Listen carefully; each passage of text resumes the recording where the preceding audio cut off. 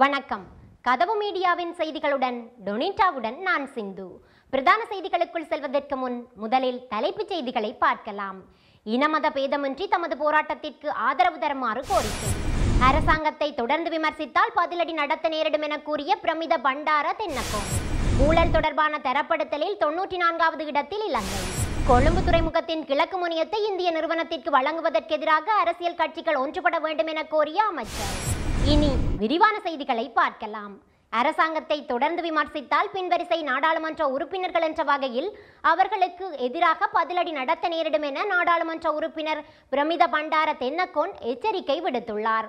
மாத்தளையில் ஊடகவியலாளர் ஒருவர் எழுப்பிய கேள்விக்கு பதிலளிக்கும் போதே அவர் இதனை தெரிவித்தார்.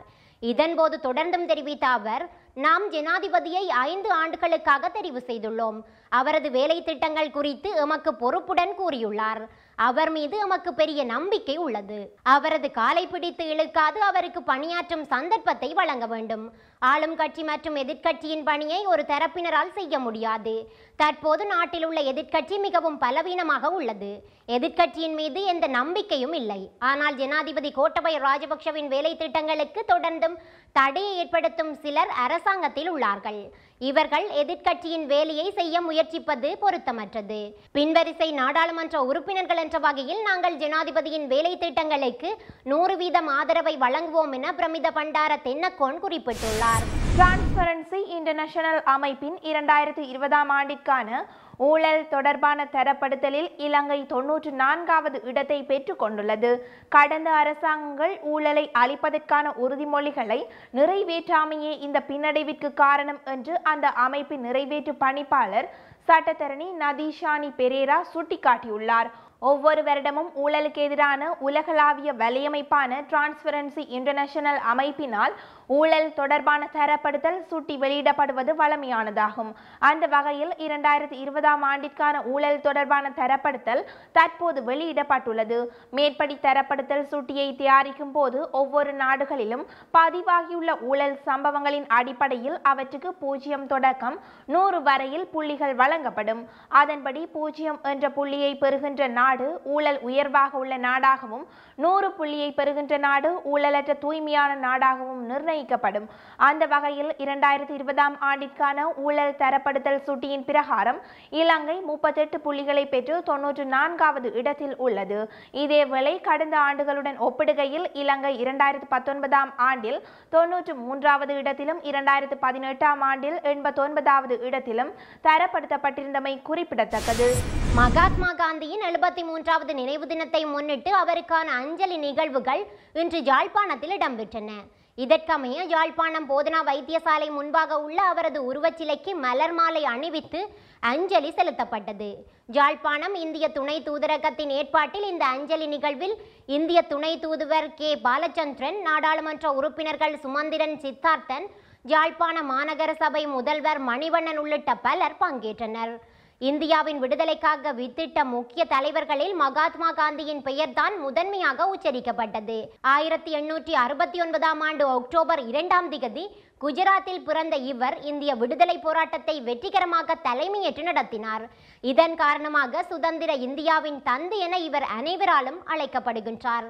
சத்தியாகிரகம் என்று அழைக்கப்பட்ட இவரது அறவழி போராட்டம் இந்திய நாட்டு விடுதலைக்கு வழிவகுத்ததுடன் மற்ற சில நாட்டு விடுதலை இயக்கங்களுக்கும் ஒரு வழிகாட்டியாக அமைந்திருந்தமை இங்கு குறிப்பிடத்தக்க அம்சமாகும்.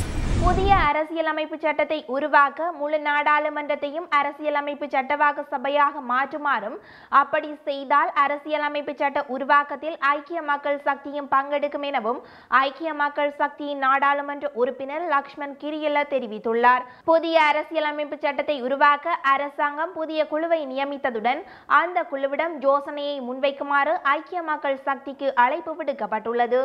இந்நிலையில் இந்த விடயம் தொடர்பாக கருத்து தெரிவித்த போதே அவர் இவ்வாறு குறிப்பிட்டுள்ளார். அரசாங்கத்திற்கு ஆதரவான சட்டத்தரணிகளை இந்த குழுவிற்கு நியமித்து அரசியல் அமைப்பு சட்டத்தை உருவாக்க முடியாது என்பதே எமது நிலைப்பாடு. எனினும் குறித்த சட்டத்தரணிகளில் சிலர் குறித்து எமக்கு பிரச்சனை இல்லை. மாறாக அரசியலமைப்பு சட்டம் உருவாக்கப்படுமாயின் சகல இனங்கள் மற்றும் அரசியல் கட்சிகளை இணைத்து கொண்டு அதனை உருவாக்க வேண்டும். இதனை செய்ய வேண்டுமாயின் முழு நாடாளுமன்றத்தையும் அரசியலமைப்பு சட்டவாக்க சபையாக மாற்ற வேண்டும்.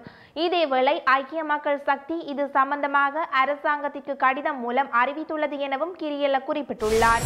மக்களின் ஆதரவு தாராளமாக இருக்குமாயின் மக்கள் எதிர்கொள்கின்ற அனைத்து பிரச்சனைகளுக்கும் தீர்வு வழங்கப்பட்டிருக்கும் என அமைச்சர் டக்ளஸ் தேவானந்தா தெரிவித்தார். கிராமத்திற்கு ஒரு வீடு நாட்டிற்கு சுபீட்சம் என்று அரசாங்கத்தின் வேலை திட்டத்தின் கீழ் பழைநகர் சோரன்பற்று பிரதேசத்தில் பயனாளர் ஒருவருக்கு வீடு அமைத்து கொடுக்கப்பட்டுள்ளது. இந்த வீட்டினை கடற்தொழில் அமைச்சரும் கிளிநொச்சி மாவட்ட ஒருங்கிணைப்பு குழுவின் இணைத் தலைவருமான டக்ளஸ் தேவானந்தா உத்தியோகபூர்வமாக கையளித்தார். இதேவேளை கிளிநொச்சி சோரன்பற்று கணேச வித்தியாலயத்தின் மாணவர்களின் கோரிக்கையின் அடிப்படையில் அமைச்சர் டக்ளஸ் தேவானந்தா அங்கு விஜயம் செய்தார். பாடசாலைக்கான விஜயத்தினை மேற்கொண்ட அமைச்சர் மாணவர்களின் கோரிக்கை தொடர்பாக ஆராய்ந்து நியாயமான தீர்வினை பெற்றுத்தருவதாக உறுதியளித்துள்ளார். கொழும்பு துறைமுகத்தின் கிழக்கு முனையத்தை இந்திய நிறுவனத்துக்கு வழங்குவதற்கு எதிராக அரசியல் கட்சிகள் ஒன்றுபட வேண்டும் என கைத்தொழில் அமைச்சர் விமல் வீரவன்ச தெரிவித்துள்ளதாக தென்னிலங்கை ஊடகம் ஒன்று செய்தி வெளியிட்டுள்ளது. இதன் அடிப்படையில் அரசாங்கம் கிழக்கு முனையத்தை இந்திய நிறுவனத்திடம் ஒப்படைப்பது என தீர்மானித்தால் அது குறித்து அடுத்த கட்ட நடவடிக்கை எடுப்பது தொடர்பில் பேச்சுவார்த்தைகளுக்கு அரசாங்கத்தில் அங்கம் வகிக்கும் ஐந்து கட்சிகளும் முன்வர வேண்டும் என அமைச்சர் வேண்டுகோள் விடுத்துள்ளார். இதன்போது இந்த விடயம் தொடர்பில் அரசாங்கம் அடுத்த வாரம் அமைச்சரவை பத்திரத்தை சமர்ப்பித்தால் தீர்க்கமான நடவடிக்கைகளை எடுக்க வேண்டியதன் அவசியத்தை அமைச்சர் வலியுறுத்தியுள்ளார். இது தொடர்பில் இன்று அரசாங்கத்தில் அங்கம் வகிக்கும் ஐந்து கட்சிகளின் தலைவர்களின் கூட்டம் இடம்பெறுகின்றமையும் குறிப்பிடத்தக்கது. மட்டக்களப்பு மாவட்டத்தில் மீண்டும் ஆரம்பித்துள்ள மழையுடன் கூடிய காலநிலையினால் சில வீதிகள் மற்றும் குடியிருப்புகள் நீரில் மூழ்கியுள்ளதாக பிரதேச செயலாளர்கள் தெரிவித்தனர்.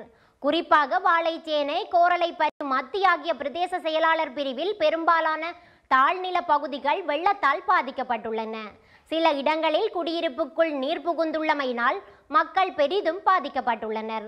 எனினும் இதுவரை எந்தவித இடப்பெயர்வுகளும் இடம்பெறவில்லை என்றும் மழை தொடர்ச்சியாக பெய்யும் நிலைமை ஏற்படும் பட்சத்தில் இடப்பெயர்வுகள் இடம்பெறக்கூடிய ஏதுநிலை உள்ளதாக பிரதேச செயலாளர்கள் தெரிவித்தார்கள். வீதிகளில் ஏற்பட்ட வெள்ளம் காரணமாக பாடசாலை மாணவர்களும் பொதுமக்களும் பயணம் செய்வதில் பாரிய இன்னல்களை முகம் கொடுத்து வருகின்றனர். ஐக்கிய நாடுகளின் மனித உரிமைகள் ஆணையாளரின் அலுவலகத்துடன் இறுதி நிமிட பேச்சுவார்த்தையை இலங்கை நடத்தியுள்ளதாக தகவல்கள் வெளியாகியுள்ளது. அடுத்த மாதம் ஜெனீவாவில் நடைபெறும் ஐக்கிய நாடுகளின் மனித உரிமைகள் பேரவை அமர்வுக்கு முன்னதாக இந்த சந்திப்பு இடம்பெற்றுள்ளதுடன் பகிரங்கப்படுத்தப்பட்ட இலங்கை தொடர்பான ஆணையாளரின் அறிக்கை குறித்து கவனம் செலுத்தப்பட்டுள்ளதாகவும் கூறப்படுகின்றது. ஆணையாளரின் அலுவலகத்துடன் சில விவாதங்கள் நடத்தப்படுகின்றன என்பதுடன் அவர் தெரிவித்திருக்கும் விடயங்களில் உடன்பாட்டை எட்ட முயற்சிக்கப்படுகின்றது. எனினும் உரிய முறையான பதிலை வெளியிடவுள்ளதாக இலங்கை அரசு தரப்பு செய்திகள் தெரிவித்துள்ளன. முன்னதாக கடந்த இருபத்தி ஏழாம் தேதி ஐநா மனித உரிமை ஆணையாளர் வெளியிட்ட அறிக்கையில் இலங்கையின் மோசமடைந்து வரும் மனித உரிமை நிலைமையால் தான் அச்சமடைந்துள்ளதாக குறிப்பிட்டிருந்தார். சர்வதேச குற்றவியல் நீதிமன்றங்களில் சட்ட மீறல்களில் ஈடுபடுபவர்கள் என குறிப்பிடப்படுபவர்களின் வழக்குகளை தொடர்வதன் மூலமும் குற்றம் சாட்டப்பட்டவர்களுக்கு எதிராக பயண தடைகள் மற்றும் சொத்து முடக்கம் உள்ளிட்ட தடைகளை விதிக்க வேண்டும் என அவர் உறுப்பு நாடுகளை கோரியிருந்தார். இந்த நிலையில் ஐநா மனித உரிமை ஆணையாளரின் அறிக்கைக்கு முறையாக பதிலளிக்க எதிர்பார்க்கப்படுகின்ற போதிலும் அந்த பதிலை பகிரங்கப்படுத்துவதற்கு முன்னர் ஆணையாளர் மிச்சேல் பஜ்லட் அலுவலகத்துடன் ஒருமித்த கருத்தை எட்ட பேச்சுவார்த்தை நடத்தப்பட்டு வருவதாக இலங்கை தரப்பு கூறியுள்ளதாக ஆங்கில ஊடகம் ஒன்று செய்தி வெளியிட்டுள்ளது. இனமத பேதமின்றி தமது போராட்டத்திற்கு ஆதரவு தருமாறு காணாமல் ஆக்கப்பட்டவர்களின் உறவினர் சங்கம் வேண்டுகோள் விடுத்துள்ளது. காணாமல் ஆக்கப்பட்ட உறவினர்களுக்கு நீதி கோரி மன்னார் நகர பேருந்து தரிப்பிடத்திற்கு முன் இன்று அமைதி போராட்டம் ஒன்று இடம்பெற்றது. இதன்போது காணாமல் ஆக்கப்பட்டவர்களின் உறவினர்கள் பதாதைகளை ஏந்தியவாறு அமைதியான முறையில் போராட்டத்தில் ஈடுபட்டனர். போராட்டத்தின் போது மன்னார் மாவட்டத்தில் இருந்து காணாமல் ஆக்கப்பட்டோர் உறவுகளின் சங்க இணைப்பாளர் மனுவல் உதயசந்திரா ஊடகங்களுக்கு கருத்து தெரிவிக்கையில் காணாமலாக்கப்பட்ட உறவுகளுக்கு நீதி கோரியும் காணாமலாக்கப்பட்ட எமது உறவுகளை கண்டுபிடித்து தர கோரியும் போராட்டங்களை மேற்கொண்டு வருகின்றோம். இந்த நிலையில் இலங்கையின் சுதந்திர தினத்தை பாதிக்கப்பட்ட தமிழர்களாகிய நாங்கள் கரிநாளாக அனுஷ்டிக்கின்றோம். கிளிநொச்சி மாவட்டத்தில் கந்தசாமி கோவிலுக்கு முன்பாக எதிர்வரும் இரண்டாம் திகதி முதல் ஆறாம் திகதி வரை உணவு தவிர்ப்பு போராட்டம் ஒன்றை முன்னெடுக்க உள்ளோம். அதே சமயத்தில் மட்டக்களப்பில் மூன்றாம் திகதி முதல் நான்காம் திகதி வரை உணவு தவிர்ப்பு போராட்டம் ஒன்றை மேற்கொள்ள உள்ளனர். எனவே அனைவரிடமும் கோரிக்கை விடுக்கின்றோம். அரசியல்வாதிகளாக இருந்தாலும் சரி பொது அமைப்புகளாக இருந்தாலும் சரி எமது போராட்டத்திற்கு வலுச்சேர்க்கும் வகையில் இனமத பேதங்களின்றி போராட்டத்தில் கலந்து கொண்டு எமது போராட்டத்திற்கு ஆதரவு தாருங்கள்.